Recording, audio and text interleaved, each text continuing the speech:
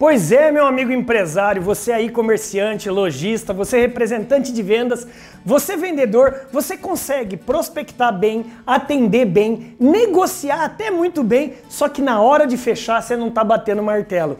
O que, que, será que está acontecendo, hein? Isso eu escuto de várias pessoas em mentorias e consultorias que eu trabalho em pequenas, médias e grandes empresas por todo o Brasil. E eu resolvi aqui nesse simples e curto vídeo colocar cinco passos para te ajudar a vender mais e fechar de maneira mais assertiva. Pega o papel e caneta, anota aí. O primeiro é o seguinte: é fique esperto com o que? Com sinais de compra. Isso mesmo, o seu cliente ele dá sinais de compra. É, dependendo do cliente o que ele fizer, se ele olhar muito contrato, se ele começar a pegar a calculadora e fazer soma, se ele começar a fazer pergunta para você, e caso eu adquirisse, você faz isso, Cara, é sinal de compra. André, mas eu atendo pelo meio virtual. Qual que é o sinal de compra? Respostas de perguntas que você enviar, entendeu? Sinal de compra é a primeira coisa que você tem que ficar esperto. O segundo passo para o fechamento é cria um gatilho de escassez. O que, que é o escassez?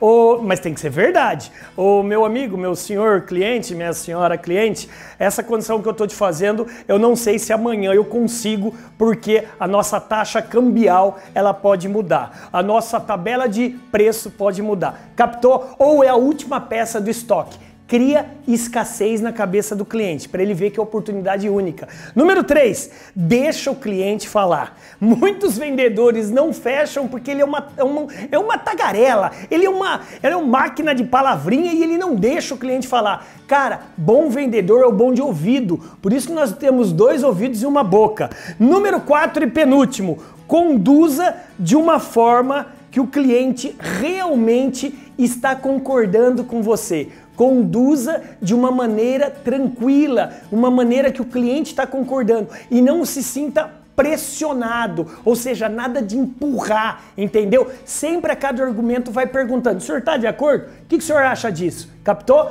E número 5 e último, peça indicações. Fechou? peça indicações. Por quê? Porque no momento de, de fechar, o cliente emocionalmente está na sua mão. Peça uma indicação é para ele. Olha só, se você gostou dessas cinco dicas de fechamento, eu quero aqui lhe ajudar mais ainda. Eu quero lhe convidar a participar do maior treinamento de vendas 100% online e gratuito do Brasil. Você está vendo esse link ou esse botão que está aparecendo? Clica nele e venha se juntar aos milhares de empresários, comerciantes e vendedores para fazer esse curso com a gente. Bora, bora brilhar.